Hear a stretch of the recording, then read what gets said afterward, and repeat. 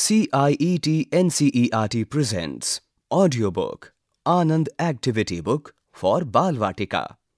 Page 50. Activity 50.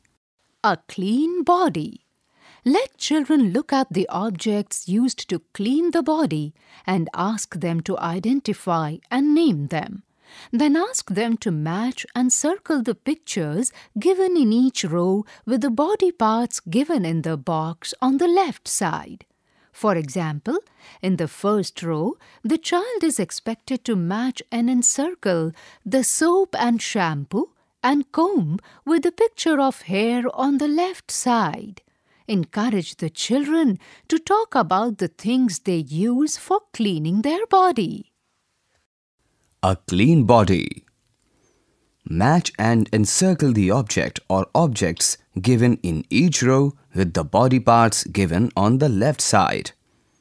On the left side, there are images of hair, hands, teeth and nails and nose. On the right side, there are various rows. The first row has the images of soap and shampoo, toothpaste and toothbrush, a comb. The next row has the images of soap and water, comb, towel. The third row has the images of toothpaste, dant manjan, toothbrush, water. The next row has the images of towel, soap and water, nail cutter.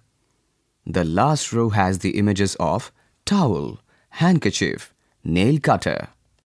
You were just listening to this audiobook. Narrator Mamta Malkani and Farhan Ali Naqvi. Sound recordist Vikas Sangwan. Assistants in production Kusum Lata. Directed and produced by Vimlesh Chaudhary. This audiobook is presented to you by CIET NCERT, New Delhi, India.